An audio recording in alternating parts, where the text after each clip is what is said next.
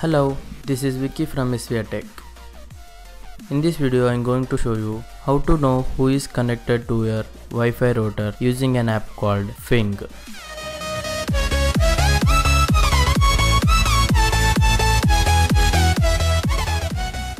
This is a free app and can be installed from the Play Store.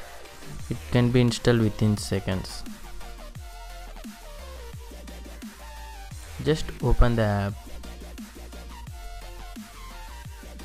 and it is scanning the devices which is connected to my router and you can see only my phone and my desktop is connected to my router. The first one is your router and the devices which is connected to the router are displayed below. In this way we can know who are connected to our Wi-Fi router.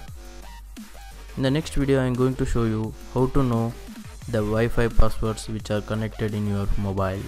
Hope you like this video. To watch more videos like this just subscribe to this channel. Share this video on your Facebook so your friends can also know about it. This is Vicky from SVR Tech. Thank you.